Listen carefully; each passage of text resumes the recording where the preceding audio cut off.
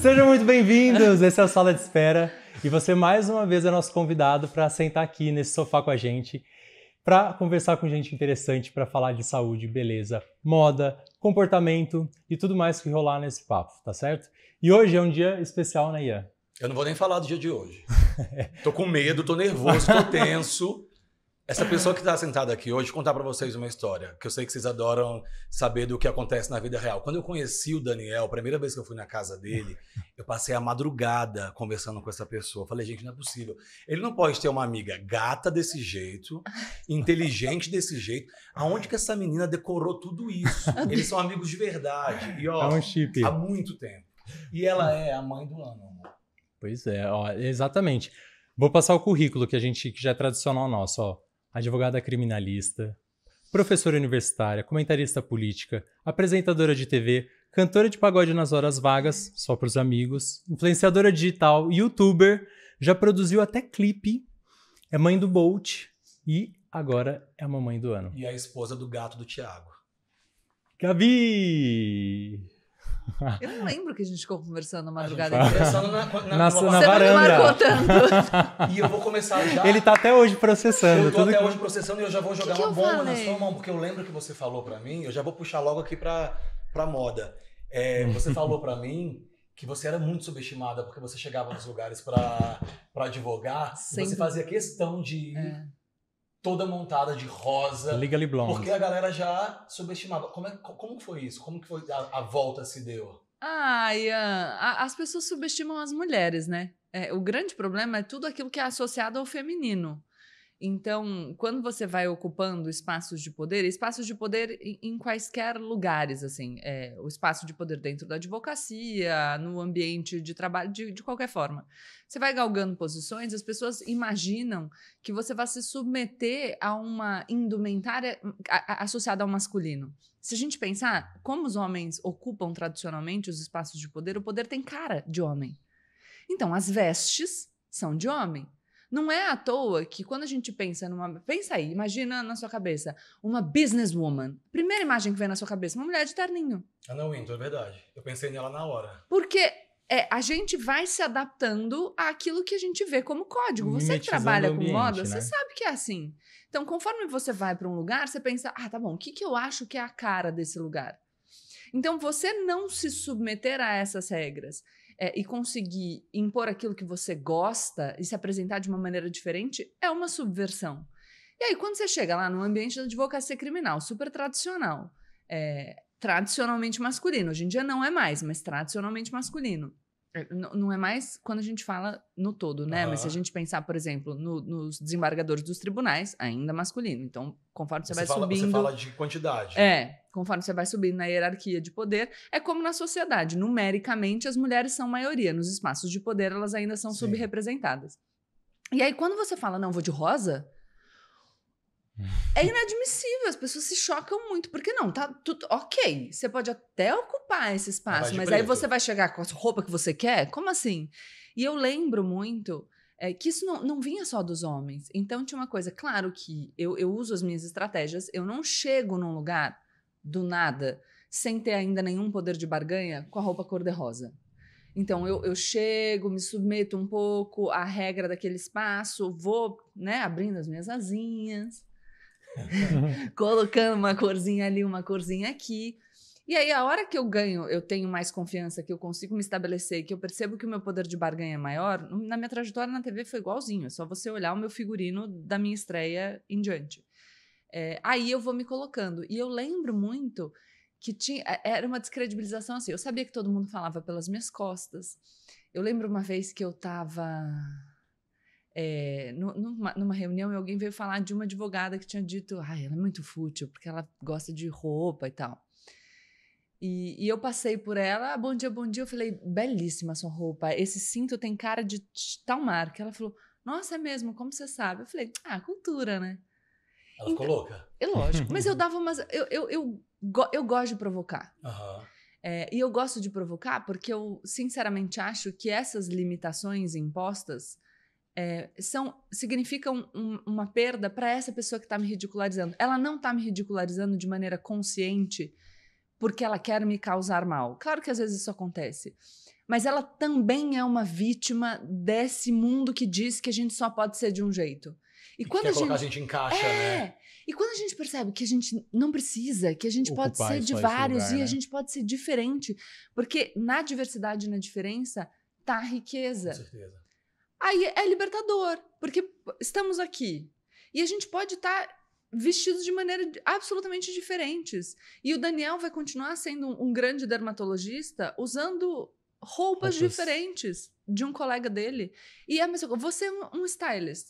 As pessoas, todas as pessoas, você veste pessoas diferentes da mesma forma para um mesmo evento? Não, nunca. É isso. Então por que é que a gente tem que se conformar?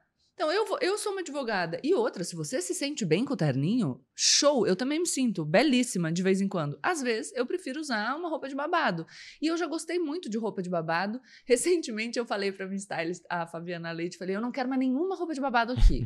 porque eu acho que, de alguma maneira, eu me docilizava Romantismo. É, na, na figura para balancear essa minha personalidade que um pouco mais áspera de vez em quando. Ô, Gabi, me fala uma coisa. Falando sobre ocupar novos espaços, né? A sua história, sua carreira, ela traduz muito isso. É, a gente pode falar, né? Quem, quem te acompanha aí há alguns anos, você fez exatamente isso, uma grande transição de carreira. A gente se conheceu num carnaval de uma maneira muito inusitada. Como Cheia foi? de brilho. Como foi? Ela já era uma pessoa iluminada, literalmente com muito brilho. Estávamos com o Thiago Cetra, né? Eu comprei uma saia bordada diferente para cada dia de Abadá. no camarote Salvador. Você bebia? Não, eu, eu be, bebia não, bebo. Não, não, agora pouco. não. Mas, você, mas, esse carnaval você, você... Bebia, mas normal. mas nada demais, né? Mas a gente se encontrou, o Thiago Cetra, nosso grande que amigo e stylist. Era, é, meu amigo amado. É, obviamente, essa pequena figura dourada, reluzente, chamou a nossa atenção. E aí a gente puxou papo. Eles vieram falar comigo foi. porque eu estava brilhando. É verdade. Literalmente. Literalmente. e naquela época eu conheci, além de uma. Se tornou uma super amiga, uma pessoa incrível, uma mega advogada, com mestrado na USP, é, num dos maiores escritórios do Brasil, seguindo uma carreira tradicional e almejada por acho que todo advogado que entra numa faculdade queria estar no escritório que você estava, queria seguir a sua carreira naquele momento. Corta para um momento em que ela simplesmente resolve fazer uma transição de carreira super importante que envolve, a gente vai falar, né, depois envolve uh, mudanças, né, novos relacionamentos e tudo mais. E houve é, quem se, quem se perguntou naquela época, né? O que essa mudança toda, muita gente te tirou de maluca, né? Como que você vai fazer isso? Como que você vai parar tudo que você está fazendo e vai para uma outra direção? Envolveu muita coragem, muita. né? Conta pra gente o que te motivou a isso, ah. da onde veio tanta coragem, tanta força. E o problema não é nem sair de lá. O problema é a outra direção. É isso que as pessoas ridicularizam e por isso que a gente precisa de mais coragem do que seria necessário se os desafios fossem só, por exemplo, financeiros. É porque você se sente descredibilizado e ridicularizado no momento em que você mais precisaria ser encorajado, porque você tem dificuldades materiais para enfrentar. Muito difícil. É, eu construí uma carreira na advocacia, eu adorava minha carreira na advocacia mesmo. Eu fui uma advogada muito feliz, ainda sinto saudade, principalmente das reuniões com os meus clientes, das audiências, de falar, portanto. É, e eu acho que eu fui amadurecendo para perceber que eu gostava muito de comunicar e para aceitar essa percepção. Eu gosto de comunicar desde cedo. É, a minha mãe fazia um exercício com a gente de falar para a gente se imaginar numa situação que a gente fosse plenamente feliz. E a minha situação era eu falando para muita gente. Desde sempre. Desde sempre. Só que conforme eu fui crescendo é, e fui me percebendo e fui percebendo a reação das pessoas a mim, eu comecei a entender que esse lugar de atenção, de centralidade, eu quero falar para muita gente, era uma coisa que não era tão bem vista assim, porque a mulher não tem essa prerrogativa de querer aparecer. A gente não pode querer aparecer. Isso não pode ser um objetivo. Se você aparece sem querer, ai, tudo bem, mas você tem que disfarçar. Até eu sei que a Preta teve aqui. É, quando eu fiz a entrevista com a Preta no meu programa, e ela falando sobre a questão dela de se perceber como atriz, é, como cantora, desculpa, como artista. É, e, e, como foi isso? Porque ela fala, foi quando eu me assumi. Então ela não se torna, ela sempre foi. E por que que você tem essa, esse momento, né, essa distância entre o, o saber que se é e o se assumir? E muitas mulheres dizem, ah, olha, não é que eu queria aparecer. E o meu ponto é, por que, que eu não posso querer aparecer? Qual que, que é o problema? Tem que ter vergonha disso, né? Se, o, se, o, se eu não tô fazendo mal para ninguém, e eu costumo dizer, eu quero aparecer, eu quero ser vista, eu quero ser ouvida. Eu quero aparecer sim, mas não é uma coisa natural. Então, jovem, eu suspeitei que se eu fosse direto para comunicação, as pessoas me descredibilizariam e tentariam me descredibilizar justamente com, ah lá, mais uma querendo aparecer. Só quer aparecer. E eu sabia que eu não tinha maturidade suficiente para lidar com isso. Então, eu admiro muito mulheres jovens que, que se colocam de maneira tão livre em busca das suas aspirações. Eu sabia que eu não ia ter a maturidade, eu falo dessa minha visão estratégica. É, eu não lutei contra isso, eu falei, tá, então eu vou construir lá o meu escudo que a sociedade tradicional vai respeitar para que eu possa, em algum momento, falar para muita gente que era o que eu queria. E eu fui construir a carreira acadêmica, fiz uma boa universidade, logo entrei no mestrado, é, era sócia de um dos maiores escritórios do país, dava aula também numa grande universidade Sim. na pós-graduação. E isso me deu o escudo que eu precisava e me ajudou, porque eu demorei um tempo né, nesse processo 10 anos na advocacia, mais o tempo da, da formação, então quase uns 15 anos. E isso me ajudou a amadurecer para sentir que eu poderia me colocar sob mais olhares, uhum. é, sem ter tanto medo. E é muito engraçado, porque eu estava dando uma palestra falando sobre um tema que eu considerava relevante. A gente não. Eu tinha feito sugestões para a gente formar a mesa com pessoas que pensavam diferente. Era um tema é, muito importante porque atinge concretamente a vida de pessoas numa situação de vulnerabilidade muito grande. Não é o caso a gente falar o tema, mas enfim. E aí eu fui participar desse evento. Eram eu, tinha, eu e mais dois outros palestrantes, eles falaram mais ou menos a mesma coisa. Eu, quando subi no púlpito ali, disse para a plateia: Eu queria saber, é, eu tenho uma fala parecida com a dos professores que me antecederam. Eu queria saber se alguém aqui na plateia pensa diferente da gente. E ninguém levantou a mão. Falei, gente, então eu queria saber exatamente o que, que a gente está fazendo aqui, porque eu vou falar uma coisa com a qual eu já sei que vocês concordam, vocês vão me aplaudir, eu vou para casa me achando o máximo, vocês sentem que fizeram a sua parte. Só que a política que vigora continua sendo a política da qual a gente discorda e ela afeta a vida das pessoas concretamente. Então a gente vem aqui, é, enfim. Falar, falar.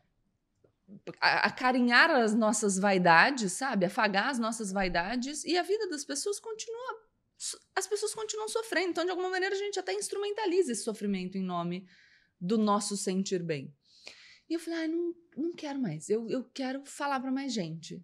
Agora, como eu ia fazer isso? Aonde eu ia fazer isso? E, e, e se isso se tornaria uma carreira, eu não tinha a menor ideia. O que eu tinha era uma reserva de emergência, dinheiro mesmo, tá? Eu acho que, que ano é isso, Gabi? Ai, Thiago, que ano é isso? Sei lá. A gente que ano eu estrei? 2000, é, 2017, é, né? 2017, é, tá. tá. Só pra... A gente acabou de se conhecer, já foi bem nessa é? época de... É, é. Não, eu sou péssima nessas coisas. Eu tinha um dinheiro ali, eu acho importante falar. A gente no Brasil tem muita dificuldade de falar de dinheiro, de né? Sim. E a gente precisa falar de dinheiro, tá? Para fazer a transição de carreira e conseguir aguentar o tempo que a coisa demora, a gente precisa ter reserva de emergência, ou eventualmente a gente precisa desenvolver é, a carreira para qual a gente quer transicionar paralelamente à carreira que a gente tem para co conseguir continuar pagando Não as contas. É num flash, né? Não. E, e a gente tem que saber a nossa realidade material. Porque senão fica só. Eu, eu adoraria, tá? Que todo mundo tivesse é, uma condição assegurada para desenvolver as suas aspirações com liberdade. Não funciona assim na prática. Então, vamos lá. Eu tinha essa reserva, não era tão grande, eu ia diminuir meu custo de vida. Eu conversei com o Thiago, meu marido, porque eu falei, ó, vamos. Isso assim. que eu ia falar, o, ter um amor verdadeiro e um, uma pessoa que fala assim, vai lá. Porque eu acredito no que você tá me falando, eu te apoio, isso faz muita diferença, Amor, né? Amor, se eu tivesse com os meus ex, eles iam ter falado, ai, que ridícula, louca. tá querendo aparecer. E você o é meu... É, é, e não, meu marido, assim, não, vamos lá. E eu vou ajudar faz em muita diferença, né? E você falou que eu dirigi videoclipe na abertura. Nessa época, o que eu falei? Thiago, lá, com o trabalho dele, eu falei, posso te ajudar. Tenho habilidades aqui pra gente, pra eu fazer um frila, posso fazer um frila. Então eu ajudava a escrever roteiro de videoclipe, eu fazia produção de figurino, tá E aí uma outra coisa aqui para as pessoas que vivem relacionamentos. Como eu tava em casa e decidi colaborar com a carreira dele, o que que eu falei para ele? Bora combinar um salário. Por quê? Porque aí eu fico com a minha autonomia. É isso, gente. A gente tem que falar de dinheiro. A gente se ama, estamos é juntos há é oito anos, vamos né? ter um filho. Mas as pessoas acham que quando você está numa relação, você não pode. Ah, não. Se você discute dinheiro, não é amor. Não é amor próprio, você depois fica lascado porque você não discute o dinheiro. Entendeu? Tá vendo, Daniel? Ai, meu Deus, acho tem... que esse ponto pegou, hein? É, tem que falar. Não, mas de... eu concordo plenamente. Eu é. acho que até porque é uma troca isso, é um suporte que, claro. que, né, que um dá pro outro.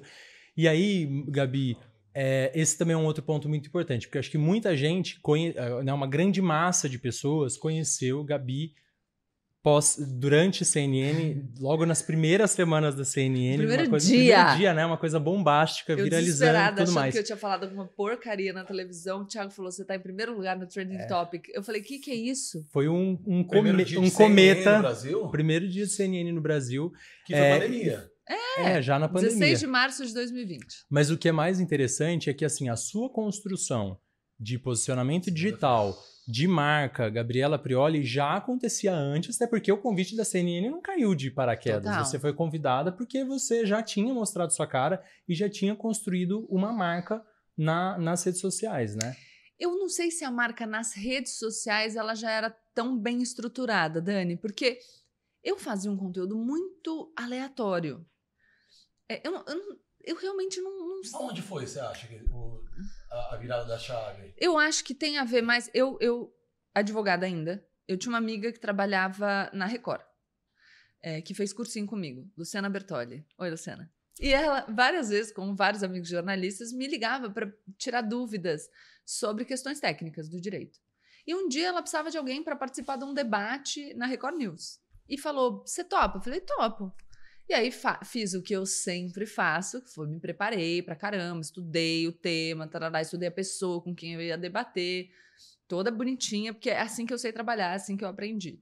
E aí fui lá fazer o debate. E um dos diretores lá viu e falou: interessante. É, e aí eu era chamada de vez em quando para comentar algumas coisas, poucas, bem pontuais. E eu fui chamada para fazer um teste para ser comentarista lá na Record. Ah, tá. E eu cheguei a gravar três pilotos, mas sinceramente não, não achei que era o tom que eu queria, não era minha cara. Então falei que não queria participar do programa. Mas, gravou, mas fez os três pilotos? Fiz os três pilotos e percebi que enquanto eu gravava as pessoas diziam: Você nunca fez TV? Nossa. E eu falei: Hum, Olha aí, oportunidade. Acho que tem. Não, mas, eu, mais. Acho que, uma, a, a, acho que em outras Olha vidas, aí, a talvez. minha chance de usar essa roupa linda para mais gente ver. aí eu, aquilo ficou na minha cabeça. E olha que coisa interessante. Quando eu neguei o convite, eu tava indo pro aeroporto com o Thiago, tô olhando, o Thiago tá ali, tá, gente? Vocês estão vendo, mas ele tá. No final ele vai aparecer aqui. É. é eu tava indo pro aeroporto na, na Avenida Brasil, aqui em São Paulo. Eu liguei pra minha mãe. Eu ligo pra minha mãe para tudo. Coitada da minha mãe. Minha... Nossa, minha mãe atende ligação o tempo inteiro. Marta Prioli, um beijo pra um Marta. Beijo, mãe, te amo. E eu liguei para ela e falei assim: ai, neguei e tal. E olha, olha que isso é muito interessante para falar, porque vejam só, eu era uma pessoa querendo falar para mais gente, tendo deixado o meu escritório já há pelo menos um ano e meio, ou seja, com a reserva de emergência no fim, Acabando. já achando que talvez eu não tivesse outra chance, porque eu não tinha tido outros convites. Então, já desacreditada desse projeto, de repente vem uma televisão e a gente pode ter Todo várias mundo... ressalvas, tenho, eu também tenho, inclusive, mas era uma oportunidade dentro dessa área. E eu tive que ter a coragem de falar não. Porque aberta, eu achei. Né? Exato. Uma TV aberta. Se você queria falar para muita Exato. gente, você estava e, e não é fácil. É. Porque você tá ali. Eu lembro, eu tinha, tenho cadernos que eu escrevia nessa época, pensando, gente, tem, uma, tem um caderno que eu escrevo sobre o Thiago. Falou, ele vai, ele vai achar que eu sou um nada. Não, um nada. Porque o que, que, o, que, que eu, o que, que eu sou? O que, que eu sou? O que, que eu sou? Eu tô aqui um ano e meio, eu não tô tendo os convites, a coisa não decolou. Porque a gente fica ansioso, né? O meu dinheiro vai acabar. E aí? E eu pensava, gente, e agora? Eu vou voltar para advocacia? Vai dar para eu voltar? É, Por isso que eu falei, eu acho que envolveu muita coragem. Nossa, né? é muito complicado. E aí você falar não para isso? É. Porque eu falei, não é esse o tom, não vou.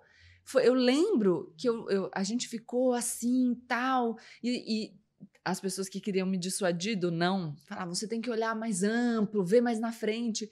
E eu lembro de ligar para minha mãe e falar: cara, eu sei que numa análise racional a gente pode dizer que sim, mas eu sinto que não é. Eu não vou fazer. E ela? Ela falou. Tá, e isso é muito legal. Minha família é Tiago, minha mãe e meu irmão, que são as pessoas mais próximas de mim. Eles me apoiam sempre em tudo e me dão muita força. Você acha que não? Então é não. Porque o Tiago poderia ter dito, putz, gente. Vai logo, né? Vamos Não, engatar. todo mundo me deu força. E eu liguei pra minha mãe esse dia e falei assim: sabe, mãe, eu não sei. Eu acho que pro meu começo tinha que ser uma rede de notícia, talvez televisão, é, é, canal fechado. Eu tenho essa sensação. Seis meses depois eu recebo o convite pra ser ele. Eu falei: ô manifestação! Ô, ô, ô, Gabi, você recebeu o convite. desse diretor aí, que, tinha te me viu visto nas- lá. nos bastidores da Record News. Só uma, só uma pergunta que tava pro final, mas eu não tinha Anitta, então, essa ainda. Não, nada. Ela era minha amiga. Já era sua Mas ela amiga. nem sabia que eu queria fazer isso. Eu lembro até dela falar pra mim, amiga, que o que, que, que, que, o que? A hora que você caiu na CNN, então, você era. Ninguém tinha te visto na televisão. Tinha assim, eu já tinha participado de em três oportunidades de um jornal falando, fazendo um comentário, Aham. mas eu tinha 30 mil seguidores no, no Instagram. Por quê? Eu conheço, eu conheço um monte de gente famosa, né? Vocês sabem. Quem, quem Então, variava lá. até porque você É, por né, causa do Thiago. convivia nesse showbiz É. de todos os finais de semana acompanhando o Thiago. A gente nos carnavais. Como que era? Eu tava ali com todo mundo, então eu conhecia as pessoas, mas Social. É, mas eu. Então, às vezes, ah, você tá lá, ou tá com a Anitta, a Anitta me posta, vem uns seguidores. Eu falava ali com a galera dessa minha audiência. É, o Yudi, que tá aqui também, fotógrafo. Quantas fotos você fez? Sem, né? Não tinha nada, só que eu tava ali porque eu- na rabeira dos famosos. Aí você pega a foto do Yudi, entendeu? Pra quem quiser aproveitar, depois eu- a gente posta uma foto do Yudi, vocês miram nele no evento. Olhou, tem um bastão de LED, vai lá. Ô, Gabi, Segue a luz. Você, mas você queria ser famosa? Você queria parecer uma Ian, coisa. eu não, não, não sei se eu nunca. Eu não sei se eu pensei no ser famosa. Eu nem, nem sei o que é ser famoso. Porque hoje no Brasil. Sabe por que eu tô será que eu sou famosa? Eu- De quem é famosa? não, Anitta é famosa. Já- a gente anda com você Então, no mas- shopping e você é famosa. Não, tá, mas tem, tem graus, né? Mas o que eu tô. que mas tô eu querendo queria atingir entender- muita gente. Sim, O que eu tô queria. entender é o seguinte: é, apesar de querer ser famosa, você não queria ser famosa a qualquer custo. Não. Tanto é que você se preparou, primeiro você se embasou, né, teórico, né? Uhum. Pra você poder se dar o luxo de ser famosa, primeiro você foi Sim.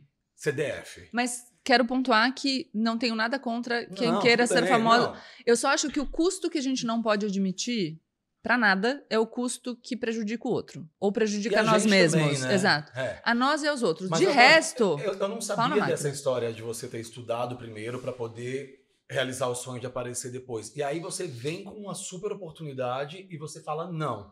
Então, assim, eu, eu queria entender, assim, é uma loucura, né? Aquariana, assim, é pra deixar a cabeça da pessoa realmente embaraçada e... É que. Então, eu tinha, vou uma, tinha uma coisa... Você não, é tinha uma razão fundamental. Não. É, não, não Tinha sou. uma vo- não tinha uma coisa falando... Não, tinha minha convicção. Eu sou uma pessoa de convicções firmes. Aham. Não, não, não sou uma pessoa intransigente nas minhas convicções. Eu mudo as minhas convicções.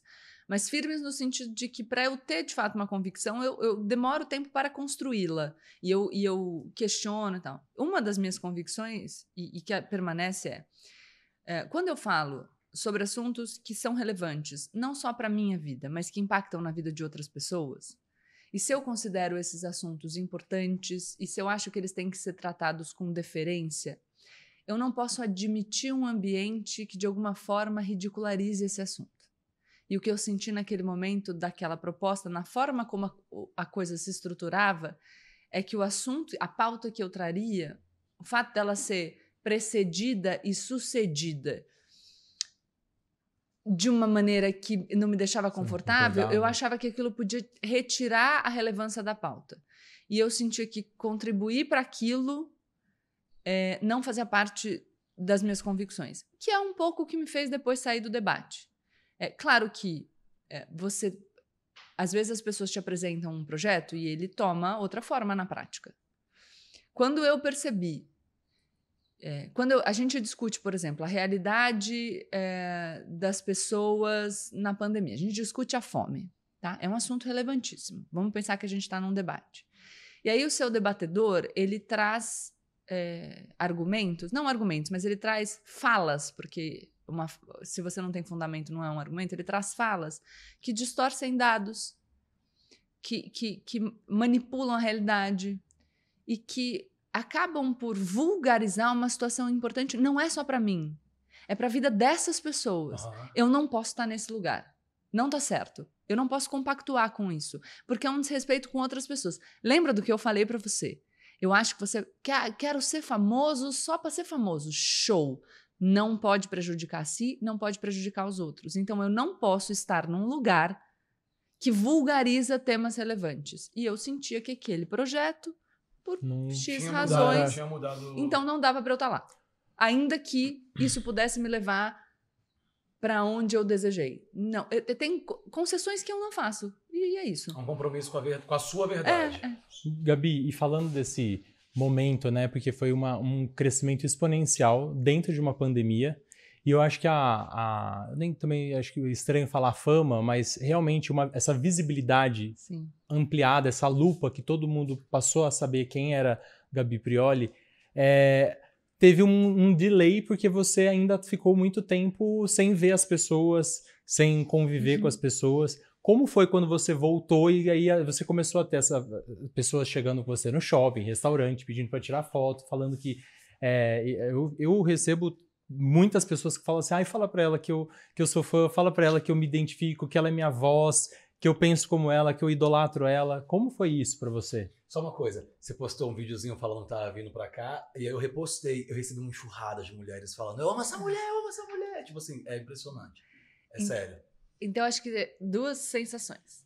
A primeira é de estranhamento, porque, obviamente, você, eu não imaginava. Então, você tá num lugar, a pessoa fala. Às vezes acontece que eu tô, eu tô andando na rua, eu já tava em Ubatuba. Aí eu tava andando na rua, uma pessoa passou por mim e fez. Ah! Eu, ah! junto!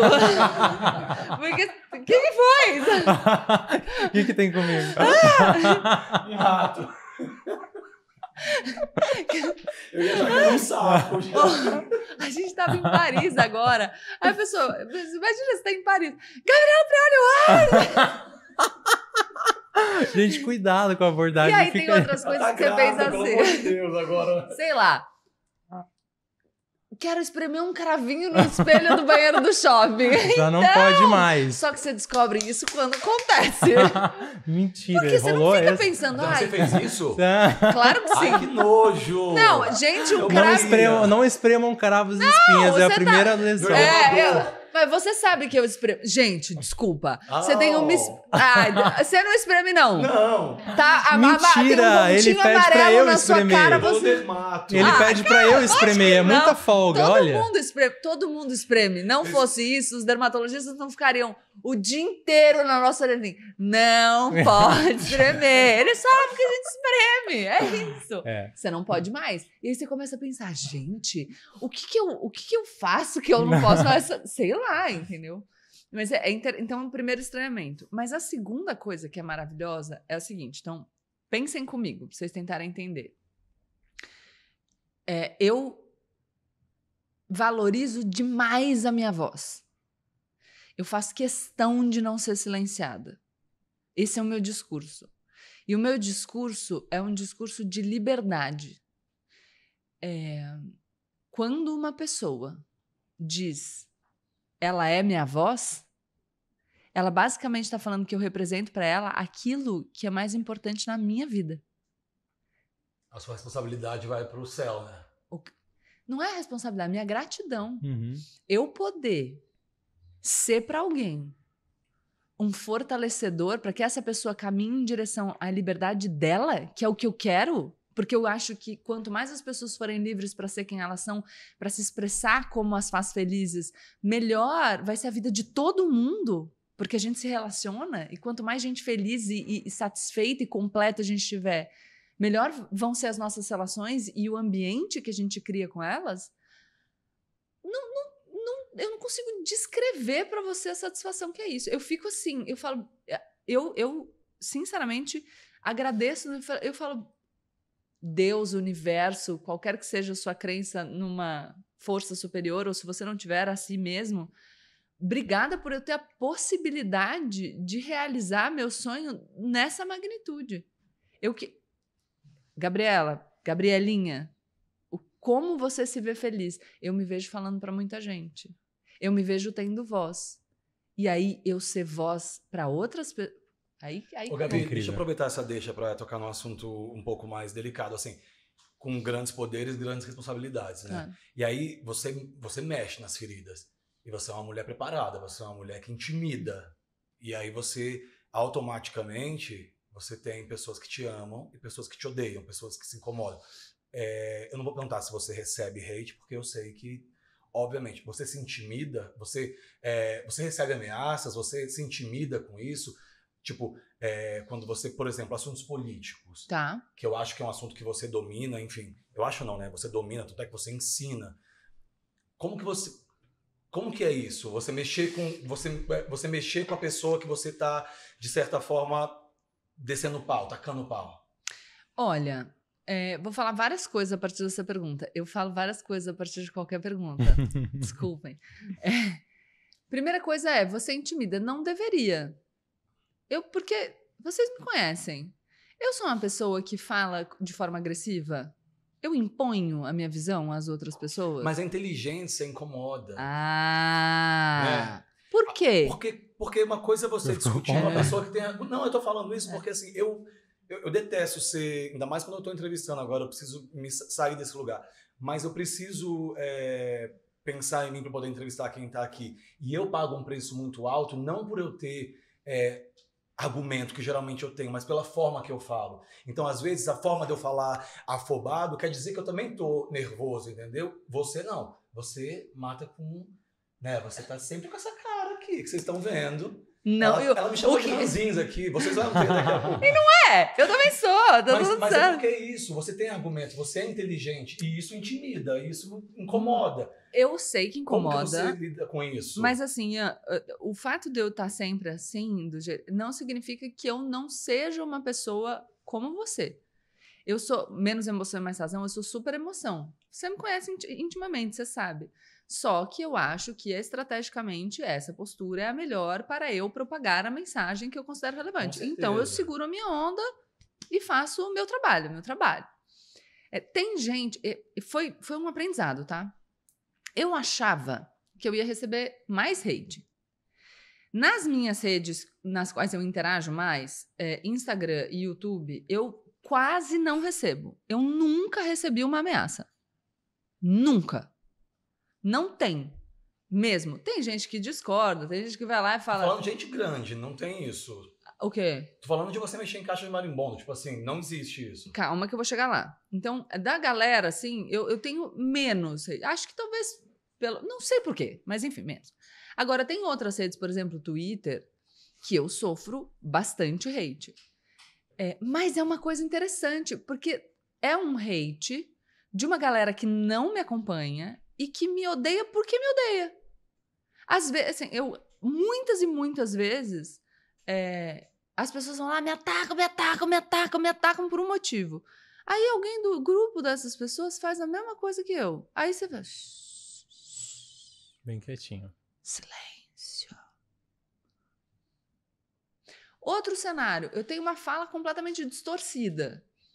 Aconteceu não uma, nem duas, nem três vezes. E aí você pensa, pô, em tese, é uma galera aí que preza por essa repúdio às notícias falsas e as distorções e a violência, né? Então a pessoa vai checar a fonte primária, vai lá ver o que de fato eu falei, vai me perguntar. Não. Nunca. Por quê? Porque essa pessoa é outra coisa. Não é o que eu falo que incomoda. É outra coisa. O que é, eu acho que varia de pessoa para pessoa. Mas a pessoa já tem uma ressalva. Claro que tem gente que discorda daquilo que eu falo e não tem problema. Não tem problema discordar de mim, eu discordo de um monte de gente, pessoas das quais, com as quais eu convivo, uhum, inclusive. Uhum. Se a gente fizer isso de maneira respeitosa, tá tudo certo. É claro que eu não estou falando de comportamentos, enfim, discurso de ódio, criminoso, tarará, com o intolerável retirado aqui é, do âmbito da nossa conversa. Mas tem gente que me detesta porque me detesta. E aí não, não tem muito o que fazer, porque eu vou gastar. Veja, eu tenho um monte de gente falando, ela é minha voz, ela me ajuda, ela fala. Eu vou gastar minha energia com essas pessoas ou com uma pessoa que me odeia porque me odeia, eu nem sei por qual razão, e, e qualquer coisa que apareça, ela aproveita para despejar o ódio. Eu vou gastar com essa pessoa que curte meu trabalho, com não com esses outros. E tem uma outra coisa interessante que é perversa desse mundo, que é conforme você vai ganhando visibilidade, é, você tem no seu poder, em alguma medida, claro, a gente precisa falar do poder que é das plataformas e tudo, mas um público, certo? Sim. Se eu ataco a pessoa que tem mais visibilidade e dou a sorte dela me responder, Pronto. o que, que acontece com a minha visibilidade? Ela cresce. Mesmo que essa pessoa não me responda. Se eu faço um tweet hoje falando assim: ah, o João Alberto é, teve um comportamento que eu não gostei. Ninguém sabe quem é o João Alberto, então ninguém vai parar para ler aquele tweet. Agora, se eu boto ali um arroba. J-Lo. Aí rola, entendeu? Não fala mal da Então, J-Lo. Eu vou ter também. Aí amei o documentário dela, aliás. Adorei. Quando ela fala dela ter sido subestimada na reportagem, achei, chorei junto. É, e aquele show, depois assisti inteiro. Incrível. Amei. Mas enfim, existe essa dinâmica perversa. Eu tava até conversando com o Dani antes da gente começar a gravar. Falei, nossa, tô muito feliz de gravar aqui, porque vocês são meus amigos. E eu sei que eu tô num ambiente. Não que vocês não possam me fazer perguntas duras. Claro que podem. Até porque eu não tenho, não tenho medo delas. Eu, eu apareci publicamente falando sobre temas duros, gente. Assim, numa boa. Acho que já deu Tá para ver que não preparada. tem problema. É, mas eu tenho um problema com falta de integridade. E você percebe que, às vezes, a pessoa quer jogar uma casca de banana ou, ou, ou pega, a partir de uma conversa que você teve, uma edição, para distorcer alguma coisa que você disse.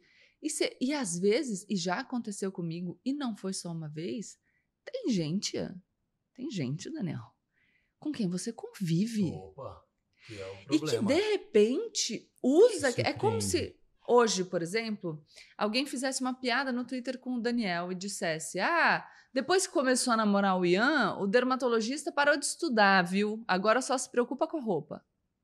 Tá bom? E aí isso ganha alguma relevância e falar sobre aquele assunto dá like. E aí vocês entram lá no Twitter e eu falo assim: Ah, gente, eu gosto de roupa, mas eu não parei de estudar. Vocês vão falar: Oi? Como que alguém que é minha amiga. Como que você pega um negócio desse, que é uma, uma distorção, uma mentira, que é um- uma violência contra mim, e você. Aí. E a pessoa faz a gracinha, porque não pensa no outro ser humano que tá lá. E aconteceu, uma vez isso aconteceu comigo, não era uma pessoa tão próxima quanto vocês, tá? Mas. E eu falei, gente, eu fiquei tão chocada que eu vou, fui pra minha rede, pro meu Instagram, falei, eu vou parar de seguir essa eu não quero ser amigo nem virtual de uma pessoa dessa que, que, que surfa numa onda de ódio contra mim, e foi uma onda importante de ódio nesse episódio, eu tava extremamente fragilizada, porque a gente dói, tá? É normal, passa, é, mas a gente dói, principalmente porque a gente não pode responder para não ajudar na visibilidade do outro, ainda que nós tenhamos resposta. É Então, muito. É, muito, é, violento, você tem que se conter, embora você tenha o que responder. E aí eu fui lá para parar de seguir. E quando eu entrei nas mensagens, De DM. a última mensagem era uma mensagem minha, no momento em que essa pessoa foi hostilizada. E a minha mensagem era: não se rende. Você é uma pessoa bacana. Se você precisar, me chama. Eu sei que dói, mas vai passar. E aí você pensa, cara, é dois sentimentos, né? Primeiro você chora, porque você fala, como que a pessoa teve coragem de fazer isso? Mas depois, quando você se recompõe, você pensa, bom, Eu fui essa é a nossa é. diferença. Não, essa é a nossa diferença. Querendo ou não, mudar, as né? pessoas entregam aquilo que elas têm. E graças às forças do universo é, e, e à forma como eu me estruturei na minha vida, eu tenho muito para entregar. E Graças muita coisa boa, porque a minha vida é preenchida de coisa boa. Eu tenho grandes amigos, eu tenho uma família incrível, eu tenho uma profissão que eu amo e que eu, é, enfim, desenvolvo com todo o prazer do mundo. Então a minha vida é preenchida. Tá falando pra muita gente. É isso. Ô, Gabi. e, Eu sou feliz. Amém. E falando sobre é, a, a sua importância, sobre o seu papel, sobre ser voz para tantas outras pessoas, é, eu sei que hoje você vive a sorte de um amor tranquilo, alguém que você não é nem a gente, a, a gente, fala de sorte, mas a gente sabe que a gente tem o que a gente realmente merece, o que a gente entregou para o universo.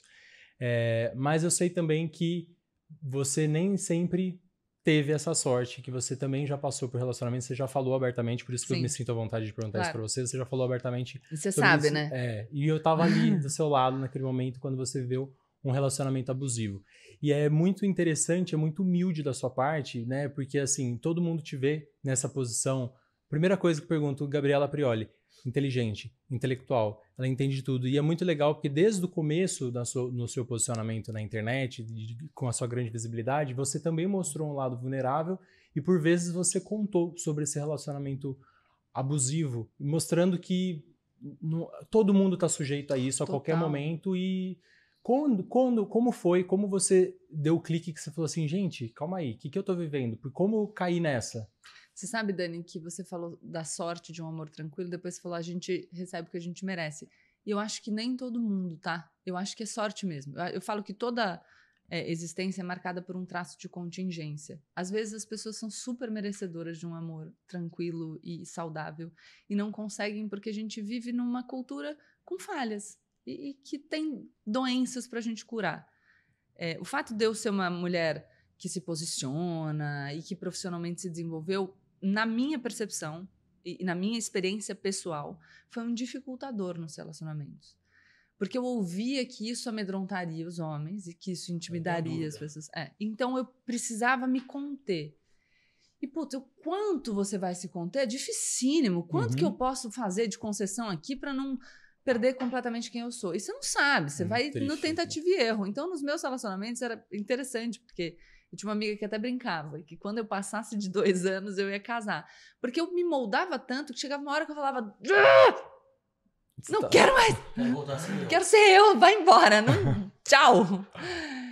E, e, e, aí, só que aí a pressão vai aumentando, você vai ficando mais velha. E a sociedade diz pra mulher que ela tem que casar, você tem que casar, você tem que ter filho, você, você não é completa. Eu lembro uma brincadeira que minha mãe fazia, porque começou essa hora da pressão pelo casamento, e eu sofro como todo mundo, gente, e vou amadurecendo a partir das minhas vivências. E teve uma hora que eu era nova ainda, devia ter uns 20 e poucos anos, ela, minha mãe falou: Gente, o que, que é isso? Como, o que, que foi? O problema é não ter casado? Fala que você é divorciada, e já casou. Entendeu? Pronto. Ai, já casei e separei. É. minha mãe já É bem a cara saco. dela. Não, minha mãe nesse processo foi ótima, porque é ela. o melhor conselho que eu já vi na minha vida. Esse. Sabe? Já dá, que discurso, que discurso você acha? Que discurso você acha que vai satisfazer as pessoas? Então fala. E aí eu, mas eu comecei a entrar numa dinâmica por muitas questões que eu trato na terapia e tal e que sobre as quais eu ainda não falo tão abertamente assim. Mas uma das coisas é eu queria um, um, parceiro forte porque eu me achava uma mulher forte. Mas eu confundia força com agressividade. Então eu acabava buscando os meus algozes, deliberadamente. Quando eu conheci o Thiago, e eu digo, se eu tivesse conhecido o Thiago antes, eu não teria sabido reconhecer a força que eu queria nele. Porque o Thiago, vocês conhecem, o Thiago é o cara mais doce que tem. E ele é o cara mais forte que eu conheço, mas sem nenhuma dúvida. O mais seguro, minha relação mais saudável, assim, eu sempre tive namorado, o ódio, ciúme, assim, o Thiago. Amor, confio no taco dele assim. Pss, Entendeu? para ele, ah, ó, se perder, né? Tá azar o seu.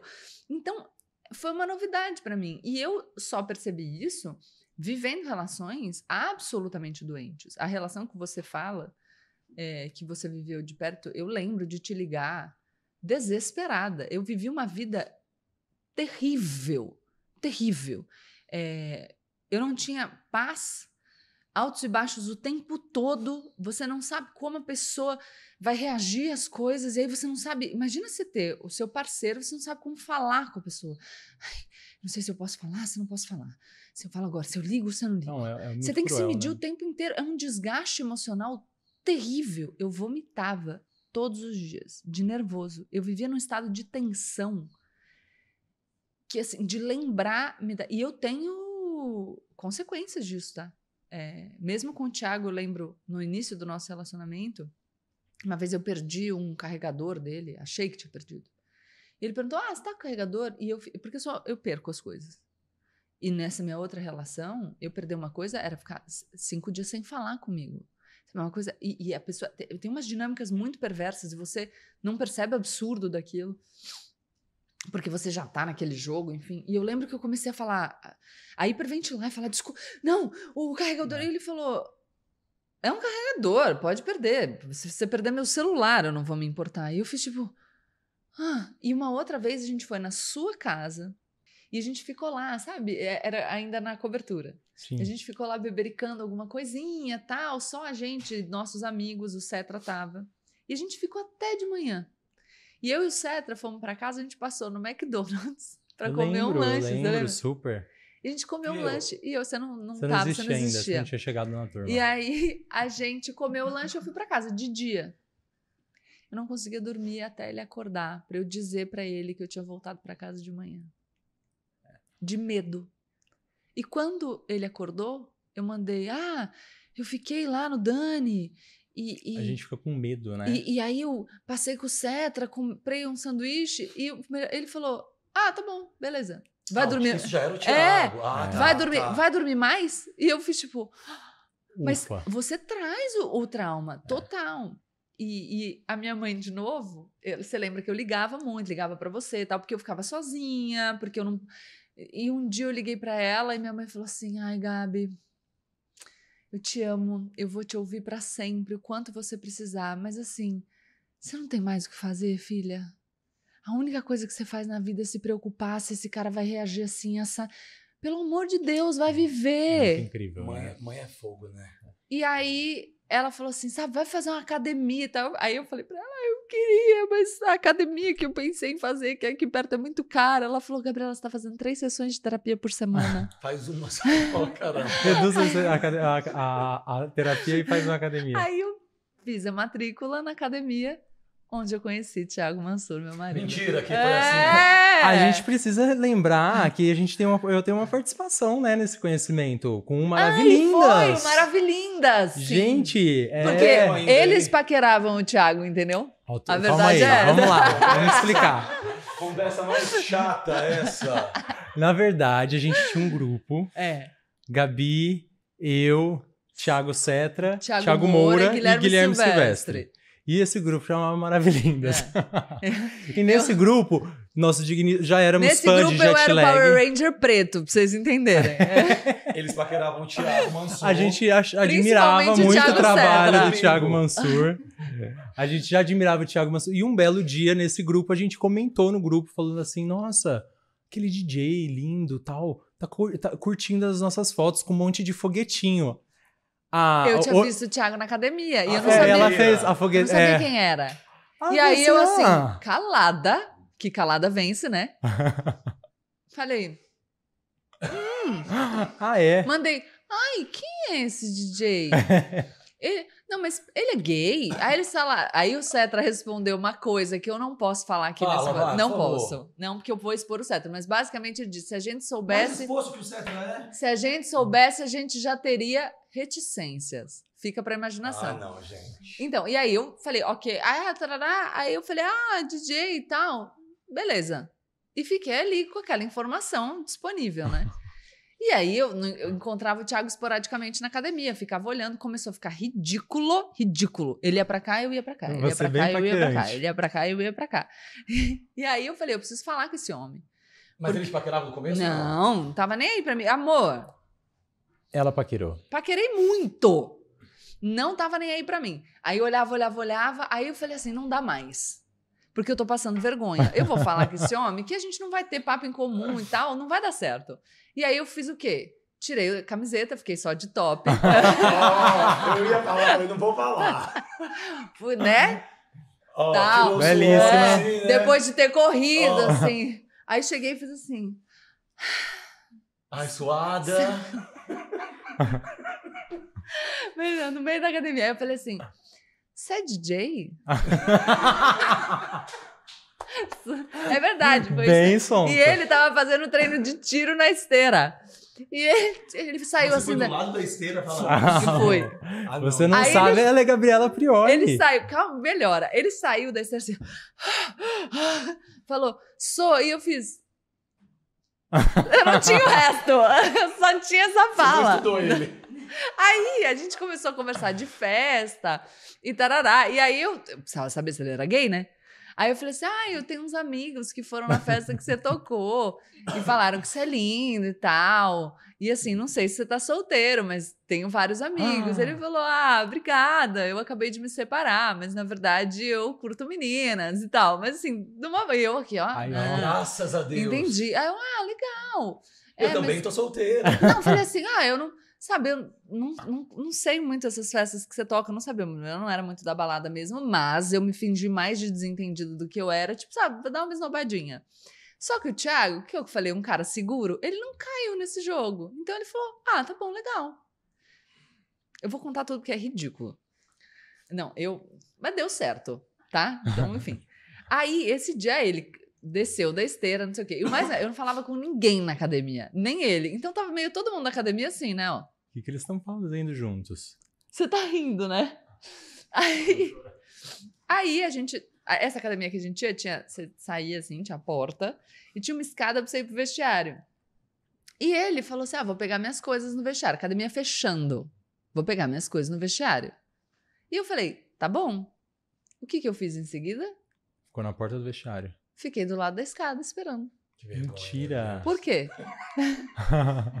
Determinada. Não, não. Aí ele subiu a escada, olhou pra Eu tava lá, né? Ele fez tipo. Maravilhoso. E falou: Você quer uma carona? Ah. E eu falei: Não, obrigada, tchau. E fui embora. Foi- Você ofereceu carona pra ela? Bem, Tia? Aí eu falei, a academia fechou, ela tá lá até essa hora. Eu desci. No meio do A nada. luz da academia, ela continua aí. Eu falei, tá com medo de ir embora até essa hora, lá. Então, é estratégia. Olha lá. A pessoa que é estrategista perdendo toda a, a visão, né? Aí, beleza. A dignidade. E eu falei pra ele no meio da conversa assim: sou advogada, trabalho em Passou o tal escritório, tal, tal. porque eu falei, o cara vai o quê? Me mandar um e-mail, né? Tentar incumpridar a conversa. Sei lá, não pediu meu telefone. Ah, Você, você deu o e-mail? Não, eu Não, falei. ela falou Oi, ela sou trabalha." advogada, trabalho no Toron Advogado. Você entra no site do Toron na Advogado? rua. Porque eu faria isso, mas eu não conheci o Thiago Mansur.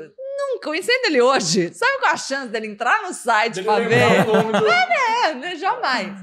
Aí, beleza. E aí eu fiquei o quê? Que hora que eu vou encontrar esse homem? Porque até então eu achava que ele era DJ, então ele trabalhava da uma às seis da manhã, entendeu? Eu achava que era que nem eu, que tem um período ali. Ele também chegava e não sabia que o show demora uma hora e meia, não tinha ideia. E aí já, já tinha passado minha fase de balada. Eu tive uma, mas ela já tinha passado quando eu conheci o Thiago. Aí um outro dia a, a gente se encontrou. Ah, minto. Aí um dia, porque ele era garoto propaganda da academia.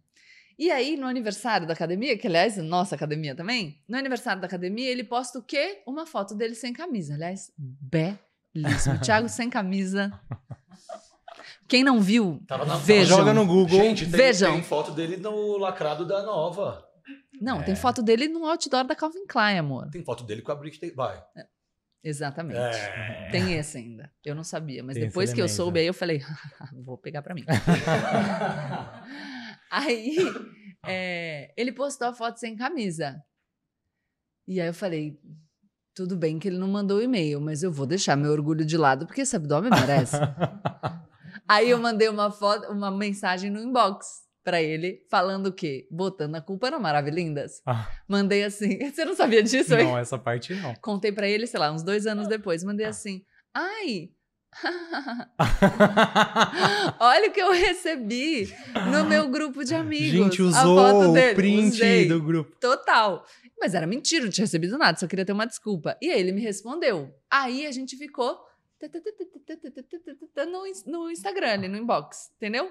E conversa aqui, conversa ali, combina de ir na academia, tarará. Uma coisa que eu falei pra ele que foi muito boa é que a gente ter se conhecido lá na academia e não ter de cara exposto as nossas intenções, vai, ajudou muito, porque eu acho que hoje em dia, não, não tenho nada contra eh, coisas rápidas, mas às vezes, se você quer conhecer mais a pessoa, você quer sair mais vezes e tal, parece que tem uma pressão, sabe? Pra você desenrolar logo. Pra E a gente uma- não teve, porque a gente ia pra academia, aí a gente tomava um suco E aí batia um papinho, depois esperava o dia seguinte. Então, prolongou. A gente ficou nessa de no, e fingindo que a gente, Paquera. é, fingindo que a gente era brother, sabe? Tipo, ah, ah, ah, ah, sem declarar intenções.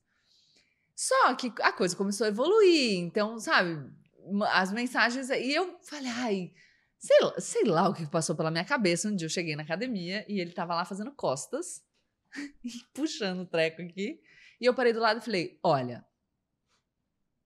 não dá mais. Porque a gente fica conversando que não sei o que, que nananana, tipo DR, que a gente não vai mais falar, porque não sei o que, sei lá o que. que Você deu uma uma chamada na chincha. Chamei, não. Falei, ah, não quero falar mais, sei lá, porque acho que é, é, era pra gente ser amigo, mas a coisa tá indo pra um outro. Louca. Aí ele, com o treco aqui.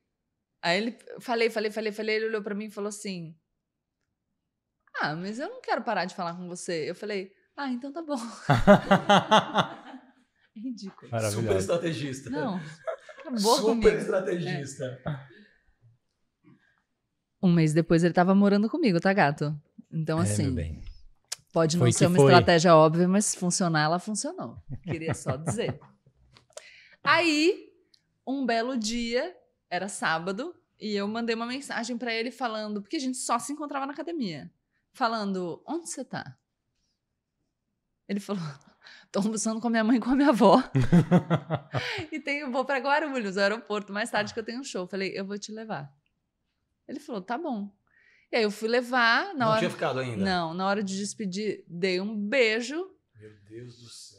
E, e aí ele foi viajar e foi muito bonitinho, porque ele, ele me mandou uma mensagem assim: é, Fiquei mexido.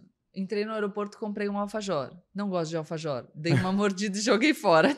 A, a nossa ela. fofo. E aí a gente, enfim, no domingo ele voltou para São Paulo, que tinha feito show, a gente saiu para jantar e pouco tempo depois a gente tava morando junto e eu mandando pro Thiago Setra. A gente precisa almoçar, a gente precisa almoçar, a gente precisa almoçar. E segundo ele, ele falou: gente, o que aconteceu com essa garota? Que louca. que ela tá querendo contar. E aí, quando ele chegou no restaurante que eu escolhi, ele viu o Thiago sentado na minha mesa. E ele falou: a lição foi: não mande foto de boy no Maravilindas, porque a Gabriela, na calada da noite. Talarica. É. Vai lá, ó. Não deu E eu, ó, certo. Calada vence. Papo boy. Não deu certo. Ô, Gabi, vamos mudar um pouquinho de assunto agora, porque eu quero conversar sobre vaidade. Nitidamente você é uma pessoa vaidosa, que se cuida, que gosta de se cuidar. Já falou um pouquinho sobre esse momento que na infância até tinha essa coisa de te ridicularizarem, porque tinha essa proibição de ser vaidosa. Mas eu acredito que a relação com a vaidade pode mudar um pouco quando você se vê exposta como você é hoje. É, dessa trajetória dos últimos anos que você vem trilhando, é, você sentiu isso de alguma forma? Existe alguma pressão? Alguém já te falou assim: ah, você devia mudar isso, você devia mudar aquilo, isso vai te ajudar mais? Como Ah, que é isso? As pessoas. Tem muita gente sem noção, né, galera? Que, que fala, tipo, ai, é, aponta traços físicos e tal. É, quando eu comecei na TV, bem no comecinho, algumas coisas que eu já não amava, mas que eu convivia. E você sabe que a minha relação com beleza é muito. Eu, eu gosto de melhorar, mas eu não gosto de me desnaturalizar. Assim. Eu não, não, não quero ser outra pessoa. Mas eu gosto de fazer um tratamento e tal. E, e- e por isso que eu tô com o Daniel. Tô com o Daniel desde a primeira clínica dele, né, Daniel? É. É, a gente está muito bem não só como amigos, porque se ele não fosse um bom profissional, eu não estaria aqui. Sendo, não, absolutamente sincero. Quando eu estreiei na TV, é, me ver ali naquela tela, então, sei lá, eu tenho, eu falo, uma verruguinha aqui, a ponta do meu nariz de lado aponta um pouco para baixo. A minha orelha, que é mais abertinha, eu acho que eu ainda vou fazer a cirurgia. Mas o, o que eu me coloquei como prazo foi: eu vou esperar passar pelo menos um ano para as pessoas me verem com todo, todos esses aspas defeitos, porque mas é aquilo que me incomodava. É, e se depois desse tempo, por mim, eu ainda quiser fazer alguma coisa para me sentir mais confortável, eu faço. Mas eu não vou fazer pela pressão, por achar que eu tenho que para agradar, sei lá, quais olhos. Porque afinal a gente agrada uns e desagrada outros. Eu não vou ser unanimidade nunca, nem nas minhas ideias, nem fisicamente. Nem quero, na verdade. Então eu senti, mas rapidamente eu falei: não, senhor. Eu peguei de volta e falei: essa é quem eu sou. É, e é isso. Eu acho que a, a graça está em a gente reconhecer valor naquilo que a gente é, do jeito que a gente é, sabe? Porque aí a gente se fortalece. Eu falo da diferença porque a gente é único que a gente é valioso. Então são as minhas características únicas que me fazem que eu sou. Então é isso, eu vou gostar. Meu corpo é saudável, me permite fazer o que eu quero, realizar meus desejos. Ô Gabi, e a sua relação com a moda? Eu sei um pouco, mas acho que muita gente não. Hum. A, a loucura pelo sapato, né? É. Como que você tá. Eu virei advogada Ah. porque eu queria usar roupa de advogada. É sério? É tudo, tudo tem um link, né? Amor, eu, eu, saia lápis, escarpão, pra mim, até hoje, Você tá na fase já de, de só comprar roupa pro bebê, não? Não. Eu, na verdade, depois que eu engravidei, muito engraçado isso, eu virei uma pessoa que não compra. Por isso que eu acho que essa criança vai nascer no dezembro capricorniano, que ela tá economizando Ela já desde já. Você não tá, você não tá num momento de, de Consumir. moda, então? Fui pra de- Paris agora, sabe quantas coisas eu comprei? Nenhuma. Você que me conhece sabe que Não, mas isso eu é- sei que você não comprou nada porque você comprou um monte de móveis pra sua casa. Não é por isso. Eu tô, eu tô realmente não tenho vontade de comprar. Agora Não, eu tô tô comprando pro figurino Porque do você programa. gosta de moda, né? Eu amo. E eu amo desde criança. A minha brincadeira preferida era usar uma bota de franja marrom da minha mãe e dar volta no quarteirão. Quando a minha mãe teve que me tirar do balé, meu pai morreu, a nossa situação financeira apertou e eu fiquei muito triste. Ela falou: Como que eu posso reparar a sua dor? E eu falei: Fazendo pra mim a fantasia da dança de final de ano. e ela costurou a veludo e tal. E eu andava todos os dias com aquela roupa. Minha, minha parada com roupa é um negócio assim: eu, eu, eu me sinto uma construção. Eu amo, adoro. Então, assim, a gente foi pra Paris, a gente ia assistir o Moulin Rouge, que eu nunca fui. E aí eu falei, ah, Thiago, não vamos porque não tem as primeiras fileiras. Ele falou, mas precisa ver da primeira fileira? Eu falei, claro que sim, quero ver o figurino. Não foi? Não foi Já- porque não tinha as primeiras um dia eu vou. Mas eu tenho, uma, eu tenho uma obsessão com roupa. Eu lembro que meu pai deixou uma fita do balé Bolshoi, eu lembro todos os figurinos. Eu acho assim, eu, eu acho belíssimo. Sapato, meu negócio com escarpão até hoje. Eu sei. Eu, tem que ser o formato do sapato, a inclinação do salto, como o salto é desenhado, a abertura na frente. Eu sou super cheia dos detalhes, eu adoro. É, e eu sinto muito que essa maneira da gente se expressar seja tão tolhida. Eu, hoje em dia, quando eu lido com as pessoas me apontando nas redes, enfim, pessoalmente ninguém faz isso. É, mas tem muita coisa de, ai, é, ela tá querendo chamar atenção. Primeiro, aham. Segundo, é, né, e todo mundo tá. A pessoa que tá trabalhando na televisão, nas redes sociais, eu não É. sei como eu vou te contar isso, meu eu amigo, mas ela é, é a economia da atenção que chama. Mas, enfim. E o que eu falo é, a pessoa se incomoda não porque você está tentando, mas porque você chamou a atenção É. dela. E aí a gente precisava trabalhar melhor as nossas sensações, as sensações que os outros nos causam. Porque se uma pessoa, porque como ela está vestida ou como ela se apresenta, te, te incomodou, se aquilo doeu, presta atenção ali, porque tem tem, um alguma coisa. Tem alguma coisa que você precisa trabalhar. E talvez seja só usar as roupas que você quer, que podem ser absolutamente diferentes das minhas, mas para você se satisfazer nesse lugar. E desde criança, é, eu, por exemplo, minha mãe fez uma saia de tule para mim quando era bem pequenininha. Eu só usava aquela saia de tule, com todos os complementos. No inverno, com meia calça de lã. No verão, sem meia calça. E ela era transparente, então eu tava sempre com a calcinha aparecendo. E minha mãe, show, vai viver. É, minha mãe falava, eu lembro dela falar assim: ai, mas a calcinha tá aparecendo. Ai, sen- senta que nem menina. A minha mãe falava assim: ela senta do jeito que ela quiser, ela é uma criança. Se você tá vendo algum problema numa criança sentada de perna aberta, é a tua cabeça que tá doente. Com certeza. E eu acho que isso abre espaço para muita coisa, né? Você tá falando da roupa, mas eu, eu vou para outro lugar, assim. Se você se preocupa com quem alguém tá ficando, né? Amando. Tal! Tipo, é contigo o problema. É, é- Exato, porque, porque eu- o que eu digo é assim, ó. A gente, eu não sei se tá. Eu estou bem aqui, eu preciso ficar mais próxima, tá bom. Você tá bem em qualquer lugar, Gabi. A, Obrigada. Nem sempre. É, a gente tem uma quantidade de energia limitada na nossa vida. A gente sabe. E uma quantidade de tempo limitada. A gente tem dois cenários possíveis. Um cenário, a gente usa essa nossa energia, o nosso tempo, para nos satisfazer e perseguir os nossos sonhos. Outro cenário, a gente usa essa nossa energia para menosprezar e o nosso tempo para menosprezar os afetos, os sonhos, as realizações de outras pessoas. eu, eu sempre falo que a gente se concentrar na vida do outro é um mau negócio, não pensando nos meus amigos, por exemplo, vivendo relacionamentos homoafetivos maravilhosos e felizes. É porque eu penso que a pessoa que está preocupada com, a, com, o casamento de vocês, por exemplo, ela está deixando de viver a vida dela. É. Vai amar, amor, vai viver. Então, então é isso. E se a gente olha para alguma coisa, e a gente, é, Ian, por uma questão de construção de cultura, com traços religiosos, a gente é sempre desencorajado a olhar para esse sentimento que a gente pode chamar de inveja, tá? É...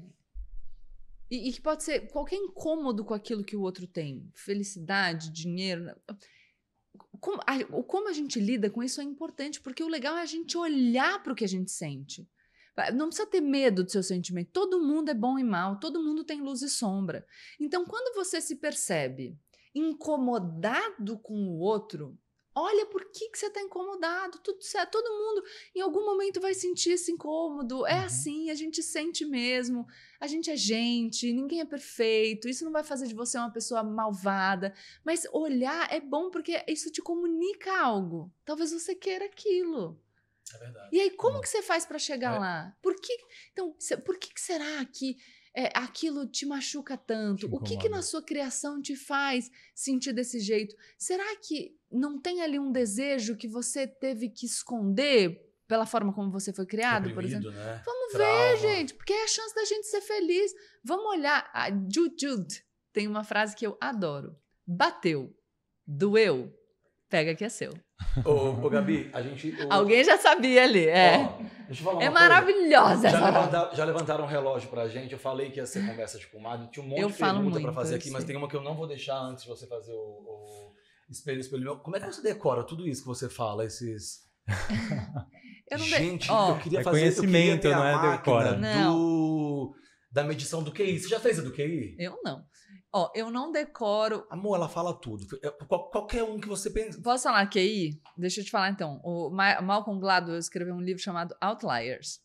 E nesse livro, ele vai falar que a performance é, dos, do, do, das pessoas com QI mais alto na vida não é melhor. O que você precisa é só ser inteligente o bastante. Você não precisa ser um gênio. Não entendi então, nada. Precisa... É, a gente não, mas a gente não, conhece não, muitas pessoas que é são esforço, gênios, é mas para uma determinada coisa. É, é, treino. Não, não precisa, não adianta perseguir esse lugar. Essa coisa de tipo, ai, a pessoa super QI, não, é. Eu vi você recitando trabalho. alguém um dia, é recitando que fala, né? Você Era um sonho dantesco, tombadilho que das luzernas a vermelho brilho em sangue se banhar. Tiner de ferros estalar do açoite, legiões de homens negros como a noite o rendos a dançar. Né, na Vinegreiro, maravilhoso. Eu demorei, demorei seis anos para decorar o Creio em Deus Pai Todo-Poderoso. É porque...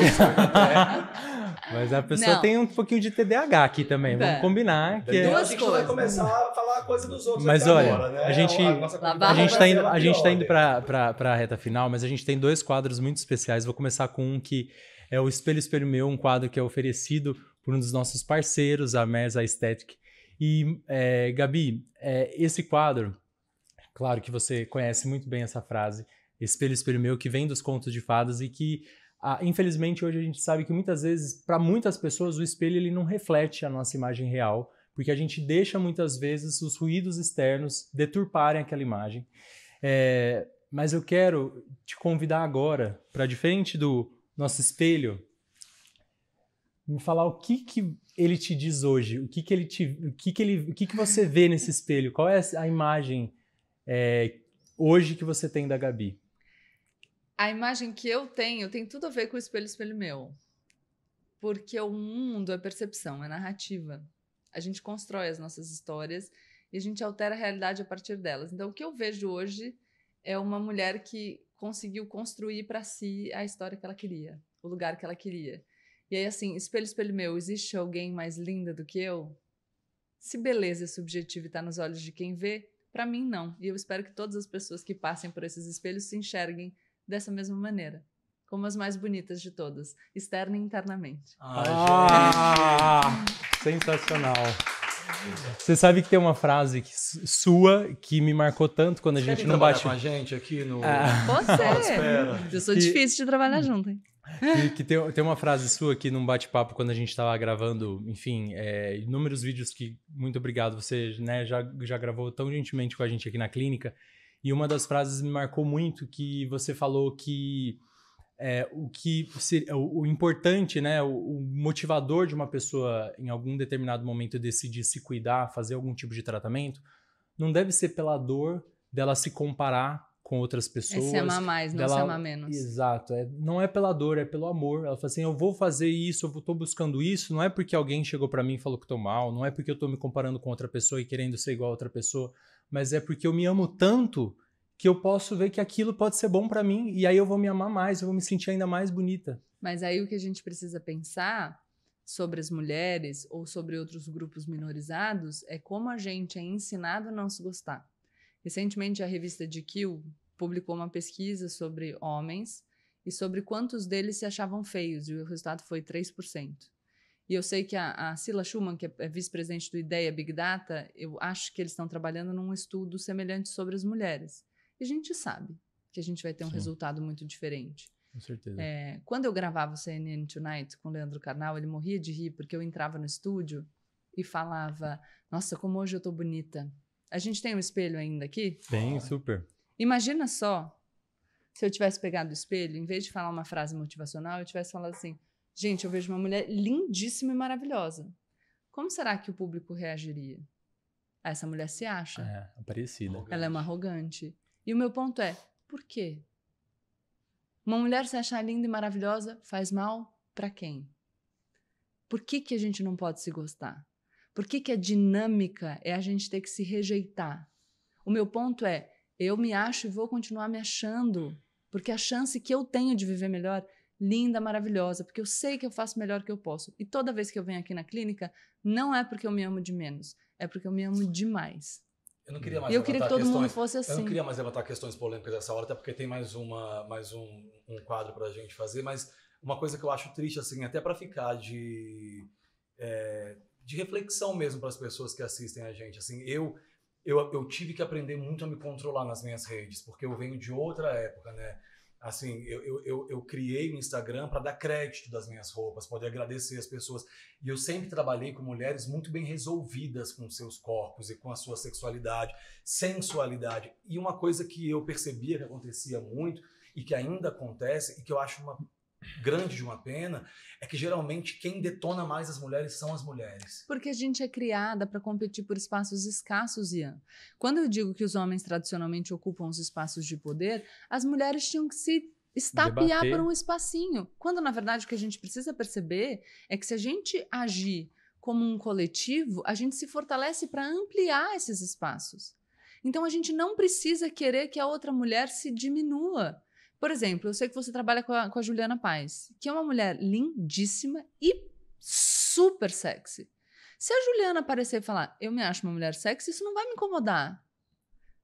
Ainda que eu discorde dela, as pessoas têm que poder se perceber como elas são e viver os próprios sonhos para que a gente seja cada vez mais livre. Mas é, é, é, é ingenuidade a gente achar que a lógica patriarcal, e o que eu falo da lógica patriarcal não é um discurso contra os homens, é um discurso de assimetria de poder, tá? O que eu falo é, se o mundo é, menosprezasse metade da população, a metade masculina, e retirasse dessa metade também a prerrogativa de ser mais livre, o que eu acho que a sociedade também faz, mas eu estaria falando por isso, porque eu falo de, de equilíbrio de poder, não é sobreposição de um grupo a outro, para que a gente possa ser todo mundo mais livre. Então as mulheres foram criadas desse jeito. A gente tem que competir, a outra mulher é sua inimiga. Quando você internaliza isso desde que você se conhece por gente, é muito difícil. Até porque você, no íntimo, todo mundo sabe que se mutilou.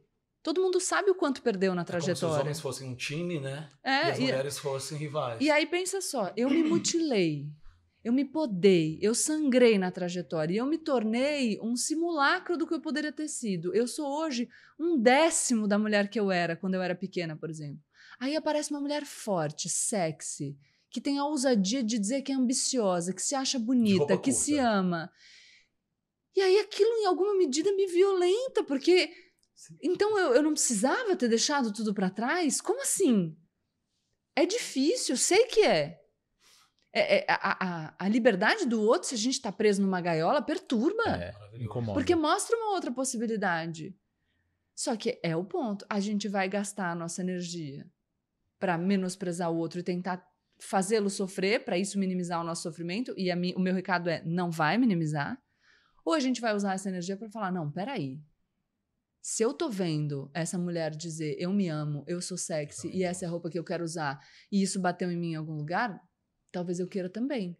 Será que eu posso experimentar? Não precisa ser uma transição repentina, pode ser aos pouquinhos. Gente, ela ainda é inteligente.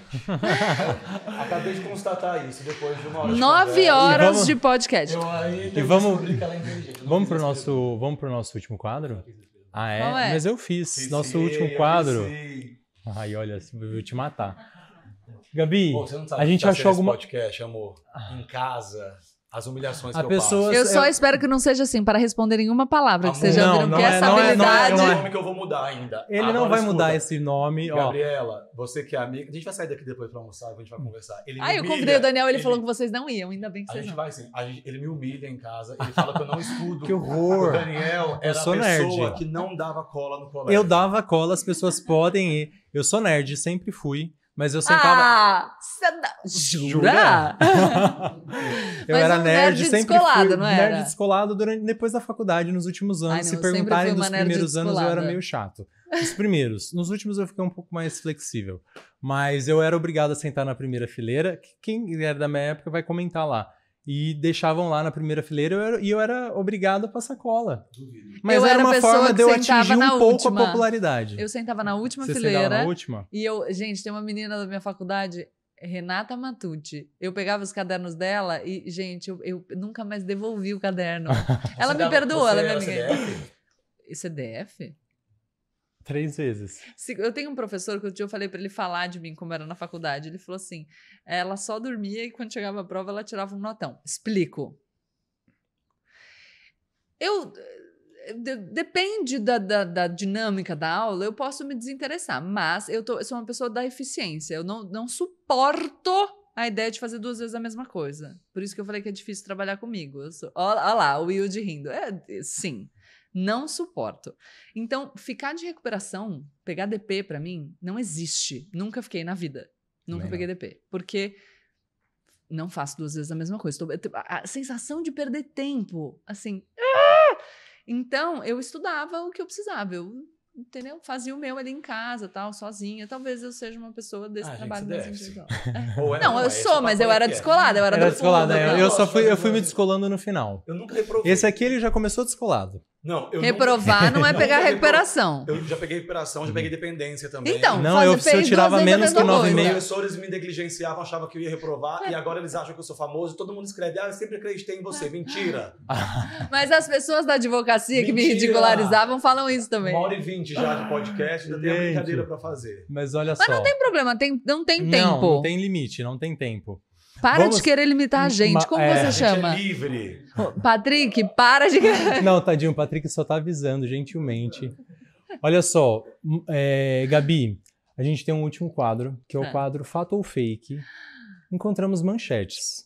Putz. Manchetes. inventamos manchetes. Encontramos manchetes sobre Gabriela Prioli, a coisa vai pegar. E aí eu quero saber Ah, se, se é for fato mentira, ou fake. mas for bom, for bom, talvez eu diga que é verdade. Vamos lá. Gabriela Prioli deve em breve largar sua carreira de apresentadora, pois seu desejo mesmo é seguir a carreira política. Fake. Menor possibilidade, né? Eu não posso dizer não assim daqui a 20 anos. Hoje em dia. né, Zero. Zero chance. Zero chance. Adoro minha independência. A minha eu sei que é fato, mas eu vou falar porque o pessoal de casa não sabe.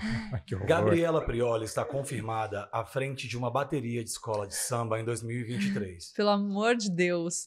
Não, não cria essa polêmica, que daqui a pouco aparece uma frase distorcida. Não vou nem falar, usar os termos que é para não dar chance do povo editar e publicar mais mentiras Fake. sobre mim. Fake. Você, já, Fake. você, já- você nunca foi convidada pra. Nunca fui. A rainha de bateria ia ser engraçado. Não, pelo amor de Deus, que já, já me dá até palpitação. Treinamos alguns passos, eu tenho Nossa, vídeos. Eu, go- eu, gostava do, eu gostava do carnaval até o povo.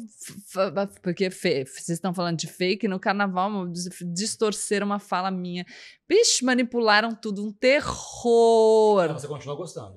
Não, continuo gostando do carnaval. Talvez Ah, Com um pouco de casa. trauma, talvez. Mas é isso. Tá, Vamos, próxima próxima pergunta. Vamos lá. Você sabe que aqui em São Paulo, só pra. Eu sempre gostei muito de carnaval, né? E aqui em São Paulo, é, eu sou palmeirense, cresci no clube, e aí eu ia na torcida, na Mancha Verde, que tem uma escola. Aliás, Mancha Verde foi campeã esse ano do carnaval. Mancha Verde, escola da Viviane Araújo. Exato, que eu Super. amo, já vi muito ela na Tá Mancha. gravidíssima também. É, desfilei muito na Mancha. Fiquei muito no barracão fazendo sanduíche. Mentira. Juro, amei. A primeira escola que eu desfilei, na verdade, que eu não era, não participava, não conhecia as pessoas, foi a camisa verde e branco, a gente só foi participar. E depois na mancha, eu vixe, conhecia todo mundo, Eu já fazia fui na todos. Eu lembro, a gente no grupo de acesso, no ano que subiu, tinha, eu sei vários sambas enredo de cabeça, mas a gente tinha uma parte que era só mancha verde, vamos festejar. Esse meu braço saiu, não sei o que, que na hora você tá ali, ó. Gangrenou. Já toda teatral. Maravilhoso. Vamos lá, próxima manchete. Gabriela Prioli ama procedimentos estéticos e diz até que se sente relaxada durante a dorzinha da agulha. Super tranquila, né? O? Daniel, eu vou contar um negócio pra vocês. Teve um procedimento que a gente fez que tinha muita agulha. E aí, quando eu acabei. Não, eu liguei pro Thiago Cetra no meio do procedimento, eu tive que desligar porque eu tava passando mal, minha pressão baixando. Eu faço um show. E aí, quando acabou, eu fiz assim. "Ah, graças a Deus. Ele falou: pronto, agora é só fazer mais três sessões. Eu falei. Quê? Como que você me fala isso agora? Ele falou: ah, se eu falasse antes, eu não ia começar. Mas foi importante. fiz. Eu tive que parar na segunda porque eu engravidei. Eu não fiz. Aquele, aquele da bunda? Não, eu fiz no rosto, mas, ele fa- mas eram quatro. Ah, era não, eu mesmo? fiz na bunda. Não sei se no rosto eu, eu Tá não tudo bem com a sei. minha bunda, eu não fiz nada na bunda. São, são- Gente, são, são vocês informações, são quatro. são Eu vou- informações de prontuário médico por, por questões éticas, A não posso verdade revelar. é, eu tava investindo na minha bunda, tá? E aí eu engravidei, mas tudo bem. No pós-gravidez, amor, vocês vão ver. Eu vou arrasar. Todos os tratamentos dessa clínica para as minhas nádegas eu farei. A última notícia de Gabriela Prioli. Após dar à luz, Gabriela Prioli já revelou vontade de ser morena. Morena? Ah, eu seria. Castanho? Não, você revelou essa vontade. Atenção, marcas. Não, eu seria. Hoje em dia, não, não posso tingir, que eu tô grávida. Não, Após é. dar à luz. Mas depois. Não, pode ser. Você acha que eu ia ficar pensou, bem? ia ficar uma morena... coisa não, bem- É, moreno claro. Olha lá, a gente tem foto da Hilde. Ah, mentira! Mostra pra Ele usou o câmera. app? Ah, o app morena. Ah, não, ou é uma Laces. Eu achei, eu achei bem bonita. Eu nunca vi ela morena. Pode mostrar? É Peraí, Sheila Carvalho. peraí, peraí, peraí. Eu sou bonita de qualquer Será jeito. que vai? Eu. Mostra você morena. E atenção, marcas, futuros patrocinadores. Atenção, a gente tá dando a deixa, gente. Não, mas eu gosto muito. Aquele aplicativo? Posso falar? Eu gosto muito de ser loira. Eu diria que isso é quase um loiro escuro. Eu É sou um loiro escuro, total. É. Cuidado Ah, com o muito, celular tem do diferente. É. Essa não é, é o loira também. É as, as fotos Gente, de é você? zoeira. É. Olha! Era uma peruca? Não, é um aplicativo. Ih, olha eu aqui, gente, no meu primeiro book. Ô, Gabi, mas linda. escuta uma coisa, mas eu acho que acho que sua alma é loira, né? Eu sou, eu nunca fui de outro jeito. Eu amo ser loira. Amo, até porque o, eu povo, o povo descredibiliza também. Aí eu fico. Liga ali. Você sabe que eu fiz implante depois de tentar ser loiro, porque na cabelo- cabeça caiu. Mas eu nunca. Não, não, é sério. Ai, vou É contar um sério, negócio pra. me Peraí. Peraí que eu vou contar um Ah, é, negócio. conta, conta as, as dores e Mas deixa eu delícias. te contar uma coisa. Eu nunca me achei mais bonito na vida quando eu fui Do loiro? Platinado. o loiro Durou mexe com as pessoas, dias. gente. Eu acho que a água oxigenada penetra. Durou três dias. Por isso Quem será nunca que você tá foi mais loiro, ranzinza? vira uma vez, não Aqui, quer ser ó. mais. Você- eu acho que é isso. Você sentiu o prazer de ser loiro, aí você. Não, se amor, você não sabe. A- Deixa eu contar pra vocês essa tragédia. A gente ia pro Japão. E eu falei, vou pro Japão moderno. Aí eu pintei o cabelo de loiro. Aí três Vocês dias não sabem. começou o cotoquinho nascer preto embaixo. Eu falei, vou renovar. A hora que eu renovei. Eu Era- detesto essa palavra, mas eu vou ter que falar. Era uma desgraça. Olha, saía, a- saía assim, ó. Aí eu voltei Japão. Corte químico. Eu voltei e falei, vou esperar crescer. Nunca mais cresceu. Aí eu fiz um. Foi a coragem que eu precisava. Presta atenção. No carnaval, não sei se você viu, mas eu usei um aplique, um rabo Vi, gigantesco. claro. Pois é. A dor era de uma estaca presa no meu crânio, assim. Uma dor, uma dor, mas eu ali. Eu não sou uma pessoa que gosta muito de sentir dor, mas eu tinha planejado e tal. Esse dia estava de pouquíssimos amigos. Olha aqui. Vocês estão vendo? Isso é o rabo de. Isso é o. É o... arrancou o meu cabelo. É. Mentira, Alopecia, tá- de tração. Mas tá nascendo. Ó, põe a mão pra você ver. É, não, eu. eu, Cuidado com essa eu- cadeira, com essa poltrona. é. Tá cre- é alopecia de tração. Se eu caio, Imagina o trauma ser todo do puxão. Porque quando a gente foi na loja, o Marlon foi sentar e caiu, pelo amor de Deus. Não, então, Imagina. mas tá nascendo. Careca e no chão, não.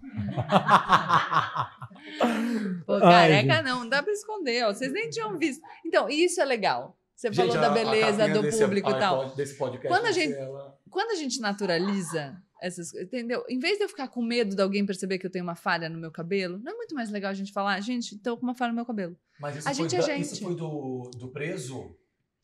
Você matou o cabeleireiro quando? Ah, foi o menino que morreu depois. Ai, que horror. Eu mandei, eu mandei pro Mário. É que eu amo o Mário, ele é Mário muito Marques. bom. Mário Marques. Te amo, Ai, Mário. para, a gente ama. É. Depois dessa, Mas, né? ó, eu mandei pra ele, eu mandei pra ele assim esses dias, Mário, eu tô com muita saudade de você. Aí eu falei, menos o meu couro cabeludo. Aí eu encontrei com ele e fiz assim, Mário! meu couro cabeludo fugindo. Já puxando. Mas eu amo, o Mário é muito bom, gente. O Mário mudou a minha cara na segunda temporada do Aprioli. Nessa terceira, contamos se com você, tá- Mário. tem- tinha uma- Se tá- preparem. Tem uma terceira agora que estreia Tá. em agosto. É, eles... É, e não posso falar. Eu, hein? Então, Mas não pode, depois a CNN briga Vamos- comigo. Mas estreia esse ano. Estreia esse ano, segundo semestre, a gente vai gravar já já, Tamara, vários convidados incríveis já confirmados, depois eu conto pra vocês, porque também não sei se posso contar. Gabi, vamos falar desses projetos então. Então, esse ano, o que, que a gente pode esperar de você? Além de belíssima, da além da mãe do Além da ano, criança. temos novo livro. Temos primeiro um novo curso que Ah, eu lanço curso, sobre sim. ideologias, vai estar bem legal, porque a gente fica nessa coisa de liberal, socialista, conservador, esquerda, direita. E, cara, as pessoas não entendem que dentro das macroideologias existem muitas nuances. As pessoas não concordam e as pessoas disputam para dizer quem é a verdadeira esquerda, quem é a verdadeira direita, quem é mesmo um socialista e tal, ou um liberal, ou um conservador. Então, é um curso muito completo para explicar direitinho para quem quiser se colocar no debate com tranquilidade, porque a pessoa vai estar alucinada dizendo: e você tem o quê? Eu- Eu é estou baseada em. zero, É que alguém do zero. nada. É, Tá. para alguém do zero. Então, é, depois eu mostro para vocês, mas assim, tá bem legal. Começo a gravar já já. E vai ser e online. lanço, é, É um no meio de online. agosto. Tá. É, a gente vai ter livro também. Eba. É, O Clube do Livro continua super. o Clube do Livro continua super, aliás, é um Sua sucesso. É. Ele é maravilhoso. Vários alunos, Você lê as quantos pessoas. livros no ano? Ah, não conto. Não conto. Eu não li acho. oito na vida. Você precisa entrar no meu clube. Não, mas eu, não, eu, não, eu acho que essa, essa disputa de quanto você leu não significa nada. Mas Você você, pode- ama, você ama, né? Adoro, adoro. Mas é isso, não- eu não leio pra depois dizer pra você que eu li vários. Eu leio porque eu quero aumentar meu repertório. É pra mim, não é pra mostrar pros outros. É, e é assim que tem Eu que ser a sabe leitura. que eu consigo aprender política, por exemplo, tipo, Total. Você já leu meu livro? Não. Política para todos. Eu li alguns livros só. Pois é. Se você ler meu livro, tem o meu curso, Manual da Política Racional, vai abrir esse ano também, que tá Eu fechado. vou te falar uma coisa, tem gente que vai se identificar comigo, eu juro por Deus. Eu, é, eu tenho dificuldade de me concentrar. Mas então, você precisa saber qual é o Na jeito. leitura. Então, então vê, olha só. Num filme eu me concentro. Pois é, então assista as aulas. Eu vou te dar o meu curso, o Manual da Política Racional, para você assistir. E esse novo das ideologias. Aí você vê. A aula é rápida, porque a gente faz para ser rápida, ela é dinâmica, a minha linguagem é simples, assim como eu faço os vídeos no YouTube. E depende, algumas pessoas sentem mais facilidade ouvindo, outras pessoas sentem mais facilidade Assistindo. lendo, outras pessoas sentem mais facilidade assistindo. Ninguém é melhor ou pior. De novo, a gente é É diferente. só, É só entender o jeito que a gente captação, funciona. E às vezes você lê. Por, por que o Clube do Livro é bom? Você lê o livro, depois você vai ter uma aula, depois você tem uma live, e você tem o conteúdo no Instagram para te ajudar. Então, para você que tem dificuldade de concentração, o clube é uma maravilha, porque ele vai te dar diversos estímulos distintos para você conseguir focar naquele tema. Maravilha. Lanço a terceira temporada do Aprioli também. E por enquanto é isso. E, e Gabi Mãe, como que Minha é? mamãe. Você se imaginou nesse papel? O que, que você tá sentindo? Eu tô feliz. Eu tô me percebendo mais prática do que eu já era. Muito interessante isso. É, Eu achei que talvez eu fosse ficar mais emotiva, mas eu falo que todo ultrassom, o sentimento é de alívio. Só, eu só quero saber que tá tudo bem. E eu achava já que eu ia ser uma mãe. Claro que né, é o começo. Mas eu tô muito tranquila, muito tranquila. É, não tô ansiosa. Tô vivendo assim. Uma gravidez muito melhor do que eu pensei que fosse. E, é, os meus objetivos são de ser de fato uma facilitadora, de ser um lugar de acolhimento e de apresentar para essa criança é, um horizonte muito mais amplo do que os horizontes que eu tive. Eu já tive horizontes ampliados pela minha mãe, mas é de dar escolha, de apresentar tudo que tem e deixar ela ser quem ela é, com a maior liberdade do mundo e poder assistir a manifestação plena de um indivíduo. Se eu pudesse ser facilitadora, eu e o Thiago, facilitadores desse processo, dessa pessoa se descobrir ser quem ela é, sem nenhuma aspiração de realização dos nossos desejos, porque que vem aí um indivíduo independente, livre, que tem que ser feliz do seu jeito, aí eu tô no céu. É isso. Muito e o que eu quero para minha criança é o que eu quero para todas as pessoas. Isso é o que eu falo de convicção, Ian. O que eu desejo para o meu filho ou para minha filha é o que eu desejo para as pessoas que me acompanham, é o que eu quero provocar a partir do meu conteúdo. Como é que eu, uma convicção pode ser mais profunda do que essa? O que eu entrego para o mundo é de fato o que eu quero entregar para a pessoa que eu vou gerar. É isso. E o Ela que é a nossa gente... amiga, gente. É, e o Na que... vida real. e a gente só tem a agradecer a você. Eu que agradeço. Pela sua presença, pela sua amizade. É, falar que a gente deseja. De Exato. Me maquiei não. no carro, tá bom? Veio direto. Tá belíssima. Quando que não tá? A gente quer agradecer muito. É, falar o quanto. reforçar o quanto que você nos inspira. É, o quanto que a gente agradece por você ser essa voz para todos que te assistem, que te admiram, para quem tem essa, essa, esse privilégio também de estar pertinho como, como amigo. Muito obrigado e a gente te deseja tudo isso em, em dobro, que o universo te retribua com tudo, com saúde, sucesso para você, para o Thiago, para esse bebê, que a gente ainda não sabe se é menino ou menina, mas com certeza vai vir numa família Amém. abençoada. Amém, para nós, é o que eu desejo para todo mundo. Obrigada, eu amei a conversa.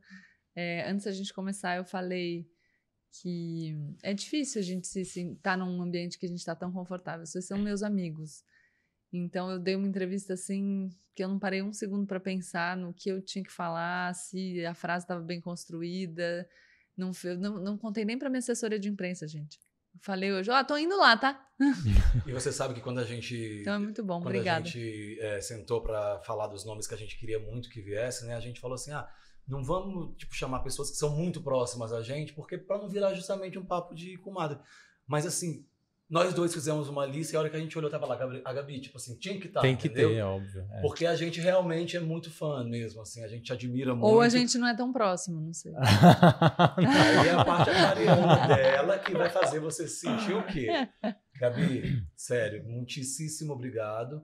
Mas eu tô achando que você vai voltar aqui antes da criança nascer ainda. Tá bom, eu a volto. A gente tem que ter repeteco. Combinado. Quando vocês quiserem. Eu adorei a conversa. A gente pode marcar cinco horas de, de reserva? Bom, vamos, já vamos reservar. Não, o Thiago, que não come uma refeição desde ontem, tá ali assim, quero almoçar. Tadinho, ele tá fazendo um Vem jejum. aqui pra você aparecer. Vem dar um oi, Ti. Vem aqui, do meu lado, por favor.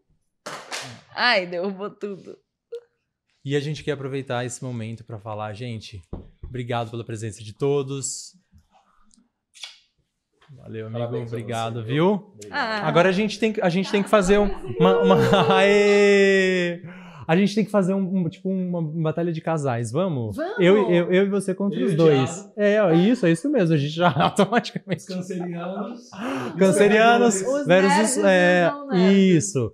Gente, Ai, obrigado pela presença de vocês que nos acompanharam, pelo Spotify, pelo YouTube curtam é, nossos compartilhem se inscrevam a gente é super a gente é super novo no YouTube fala fala dá mais dica curta compartilha se inscreve no canal e o que mais? E venha deixa um comentário. E venha na clínica. E uma, só uma Isso. coisa que eu queria perguntar, falando sério agora, por que, que tem que se inscrever? Não pode só assistir? Porque quando você se inscreve, Não. você recebe o alerta do tá. Se inscreva no canal. Você vê que é pessoa que é beginner, beginner mesmo, tá? Não, e outra, peraí. Porque hoje em não, dia. Ó, eu tava vendo no outro, já assim, 200 mil Amor. visualizações. Tem, tem um curso, tem curso de internet, é gente. Número é importante. Fica essa coisa assim, ah, os números não importam. Importam sim quando a gente sim, trabalha com isso, entendeu? Importa. Ah, Eles já têm um patrocinador, mas patrocinadores, olha que conteúdo é. maravilhoso, porque a gente precisa de marcas valorizando a gente tem caneca. o trabalho das pessoas, pra gente continuar fazendo as Exato. coisas, não é? Então é isso, precisa do número de inscritos também. Isso gente. mesmo. Vamos pensar no modelo de negócio. A gente Não, eu só perguntei pra saber se ela sabia por que, que tem que se É. inscrever. Eu sei. Cara de pau. Tchau, gente. Vamos recitar Be- uma poesia? Ai, vai qual? Mas é um. Mas é... Tu és divina e graciosa. Eu acho melhor cantar um pagode. Canta um pagode pra gente. Deixa com-